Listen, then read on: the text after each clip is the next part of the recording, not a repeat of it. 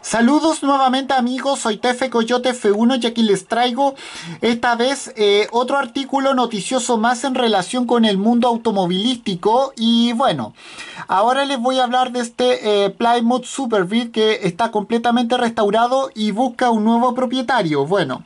como sabemos, este ejemplar del año 1970 es una de las máquinas deportivas eh, norteamericanas más extravagantes y está eh, actualmente en subasta luciendo este muy impecable aspecto y bueno eh, ahora sin más que decir vamos a hablar un poco de aquello. Bueno Dentro de las máquinas clásicas deportivas norteamericanas es, inevitable pensar en las máquinas de los modelos de los modelos Mustang, Corvette, Camaro o Challenger. Sin embargo, cualquiera de ellos parece aburrido al lado del extravagante, de la extravagante máquina Plymouth Superbeat, la cual fue una máquina de NASCAR adaptada a la, a la ciudad que llevó más allá de, las, eh, de los circuitos de carrera su aerodinámico diseño protagonizado por su eh, por su muy largo eh, morro terminado en punta y sobre todo su, su gigante su gigantesco spoiler o alerón trasero, como quieran decirle. Bueno,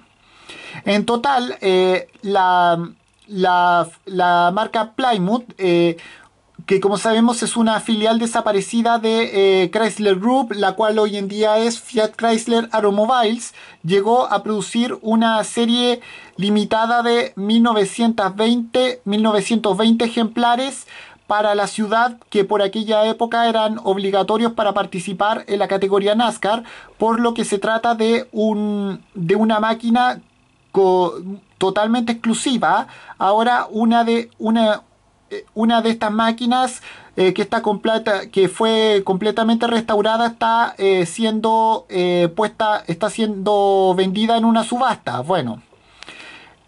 el Superbeer en cuestión del año 1970 eh, se sometió recientemente a una completa restauración que lo, que la ha dejado eh, en esta impecable apariencia, eh, en esta impecable apariencia vestido con una pintura en color amarillo limon twist yellow en el techo con el techo en color oscuro oscuro y, la, y los famosos emblemas de, este modelo en las, en las partes laterales posteriores, incluyendo un,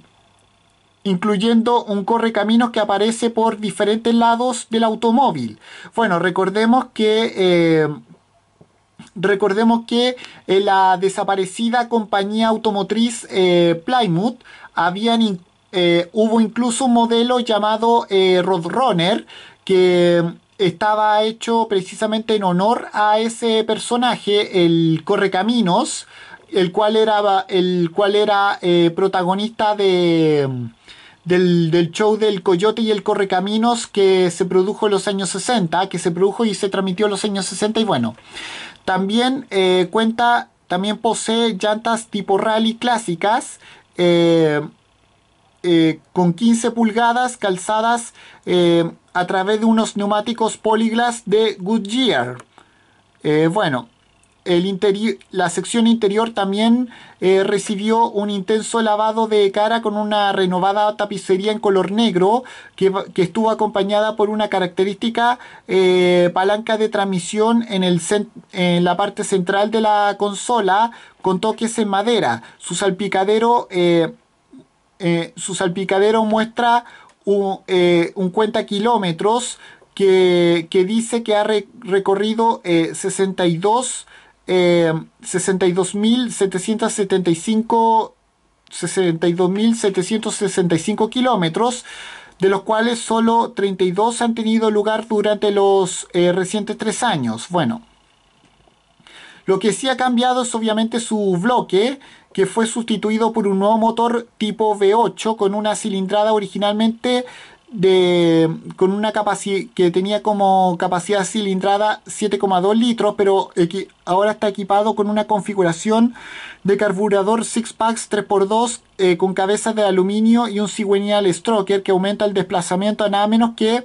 teniendo como capacidad de, de cilindrada 8,2 litros.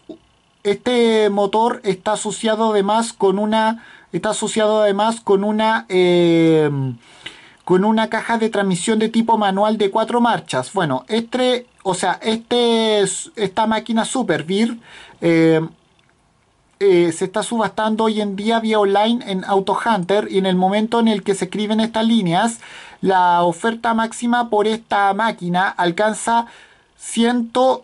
105 mil dólares, algo así como 103 eh, millones de pesos chilenos, y teniendo en cuenta que eh, solamente faltan 15 días para que se clausure eh, la subasta, la cual podría subir el valor mucho más. Y con esto me despido, adiós, que me fuera, chao.